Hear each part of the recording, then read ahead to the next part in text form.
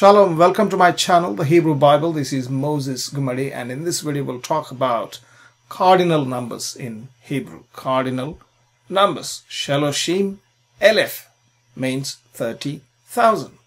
What about 30,000? Well, 30,000 subscribers we have on this channel. So thank you very much. Thank you for subscribing, coming back to my channel, for watching, for liking, for your bell icon, for commenting and all that stuff. And I'm very grateful. And praise the Lord. Baruch Hashem. We've got 30,000 subscribers. I have recently opened a store that you can access from YouTube and I will also put a YouTube link and there is a $5 off uh, on every item. Well, I mean, per, per order basically. And you can use this code. Right, so let's get to the point. 2 Samuel chapter 6 verse 1. Vayosef od David et kol bachor Israel shaloshim elef.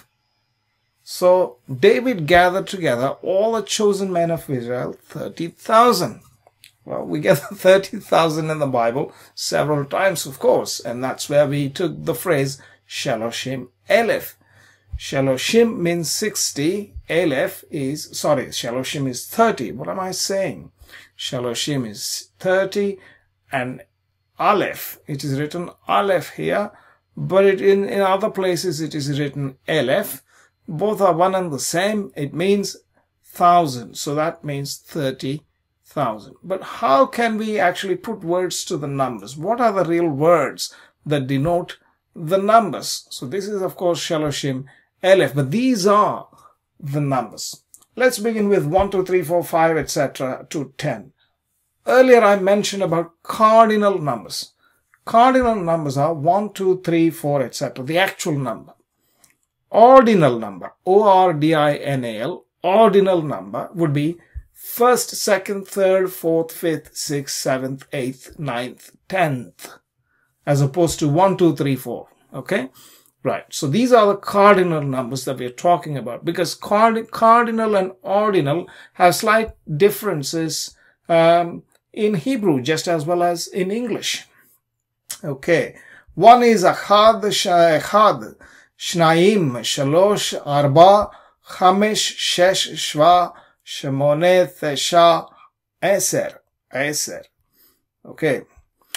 This is masculine absolute, masculine construct. What is construct? Construct means it is linked to another word occurring next and usually translated as off, one off or say two off, etc. Okay, so achad, echad, achad. And uh, here you can see the vowels have changed. Shne, not shnaim, shne. Shalosh, this is shalosh this is shalosh. Arba remains the same. Some of them remain the same, other things slightly change. Construct. Similarly, we have feminine absolute and feminine construct. Here it is achat. It's not achad, it's the. Shtaim, shtaim. So this is shataim, you can say in biblical Hebrew. In, uh, in Israel, they say shtaim. So shtaim, shataim uh, is the Shanaim. There is a difference uh, in the feminine, right? Shalosha, Arba'a, Chamisha, uh, Shisha. Here you can see the He following at the last, uh, the last letter is He in all these cases for the feminine. And when it comes to the construct, uh, it is, uh, it ends with the Tau. So Shte, uh, similar to Shne, Shte, shalosh, shaloshet. Achat remains the same, a couple, except for the couple of uh, things, maybe one and two most of the times. Shaloshet, arbaat, chamash, uh, chameshet, sheshet, shivat, shimon, shimonet, shimonat, tishat, aseret, aseret, eseret, aser, asera, Devarim. Do you remember the Ten Commandments? so you have that word there. Okay. Ish echad. One man. Ish echad. One man. Now, if it is uh, two women, shtai nashim. Shtai nashim. Shatai Nashim, you can say. Okay. Here the Shnaim is a, this is plural, sorry, this is feminine, but this is masculine, Shnaim. So Amudim, Shnaim, two pillars.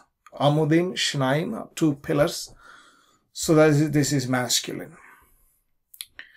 Shiva Banim, Shiva Banim, seven sons. Now you might be wondering, but why is this Shiva Banim? This is Banim is masculine, but Shiva is a feminine, isn't it?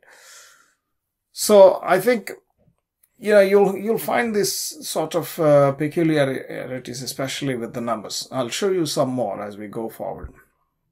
Now, if you look at it, 1 to 10, obviously, you have to memorize. But once you come to 11 onwards, 11 to 19, so the way it works is, if you remember the 10, the word for 10 is what? Eser, Eser, huh? Asara in, in feminine, Aseret, okay. Eser is the word.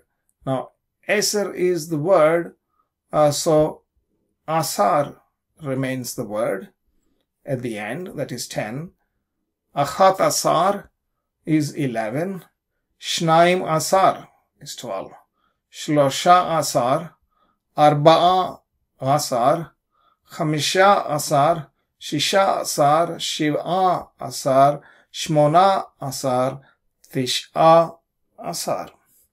Similarly, in feminine, Achat Esre, שתיים עשרה, שלוש עשרה, ארבע עשרה, חמש עשרה, שש עשרה, שבע עשרה, שמונה עשרה, תשע עשרה.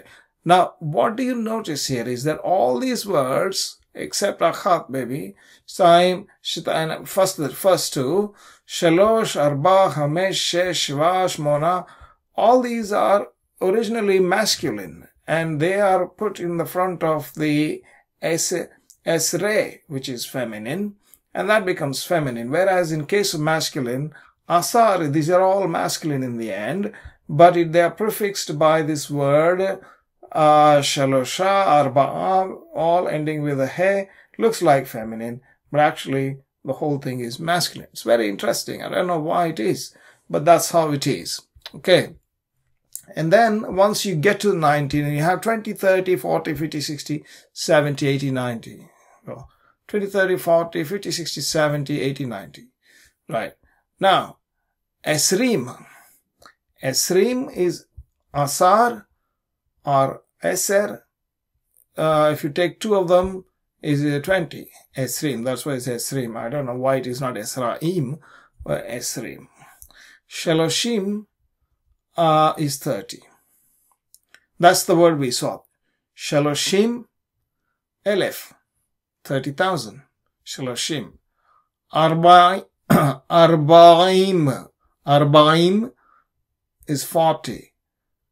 Hamishim, 50. Shishim, Shiv'im, Shiv'im, Shiv'im. You can't pronounce Ain, not that I'm pronouncing it perfectly, to be honest, but uh, I'm trying. Shiv'im, you can say Shiv'im. You pronounce it like Aleph, no problem. That's how they do it in Israel. Uh, Shiv'im, Shmonim, Tesh'im, right? So these have to be remembered. Okay. Except that they are related to Sitesha, Shmona, Shiv'a, Shesh, Kamesh, etc. So it ends with uh, Im. Okay. So Hamesh Veshishim is 5 and 60, which is actually 65. So 65 is written like this. Uh, not always uh, Hamesh occurs first, Shishim where Hamesh perhaps occurs in some places, but, but this is, I'm going to show you the verse where this is. Hamesh Veshishim means 5 and 60.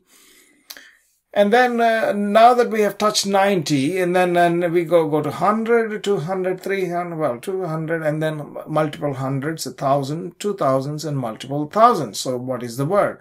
We have, there's no masculine, feminine here is only absolute and construct.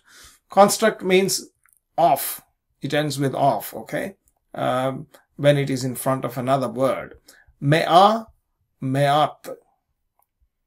Me'at, a hundred off. If you say hundred off, you say me'at. If it's only hundred, then say me'a. Mathaim. Mathaim, 200. Aim. If you remember the singular, dual and plural lesson that we did on the nouns, there is one of the nouns video. You can check it out in the Hebrew grammar section in one of the playlists. Uh, Aim is basically two, although that rule is broken in the numbers here. Um, Meot is hundreds. How many? Could be three and more. Elef is thousand. Alpaim is 2000 and Alfaim in multiple thousands. This is what I said that Aim is broken right here. Because Alpaim with the Dagesh Alpaim, Alfaim. Alfaim is thousands, Alpaim is 2000. But the construct is Alfe, Alfe. Elef, Elef is thousand. And so Shalosh Meot, Shalosh Meot is 300. So here we have an example in Genesis 5.23 why he called Yameh Hanok, who is this guy Hanok, Enoch as we call it, Enoch, Ha. Oh, there is actually a difference between, although in Israel, uh, in Sephardic pronunciations nowadays, they, they don't distinguish between Chaf, Chaf, without the Dagesh. Uh, for example, uh, so take this, this letter and the last letter, right? The first letter and the last letter. This is like with the H with the double H or to make it triple H. That's, that's a sound. Ha, no. The the the r, you know, the, that's a scratchy sound. That's a rough sound. Comes only for the chaf, not het. But nowadays in Israel, they pronounce both chet, they say chet. They don't say het, they say chet. Well, the Tiberians originally pronounced this as het and this as chaf. So there was a difference. There is a difference. Again, you might see me pronouncing it sometimes correctly, sometimes otherwise yeah, there is a bit of a lack of consistency because of multiple traditions and we pick up different things and sometimes are not consistent. Okay.